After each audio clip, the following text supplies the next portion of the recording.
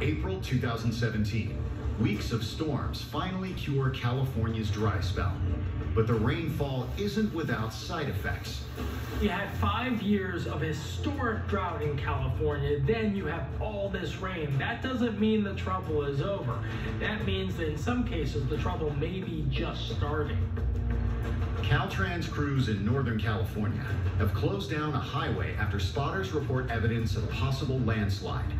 When we're talking the mountains and you get up high enough uh, on a slope and there's enough erosion to make the land unstable, eventually it's going to give way. Only one week later, and the highway is closed again. But this time, the slide is even bigger.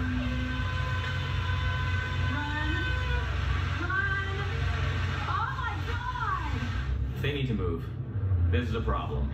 Those boulders are going to get bigger as the whole hill is about to be over your roadway. Holy cow! Oh my god! You can see those construction workers, they are running for their lives there. These landslides can come on very quickly, and we're talking about tumbling rocks coming down. So, especially people out here working on the roads, this is extremely hazardous.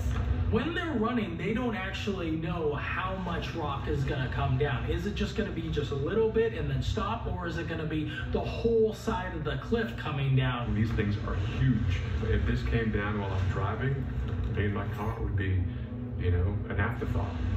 Luckily, no one was injured in the landslide. But these workers will have to burn the midnight oil to get the highway safe for cars again.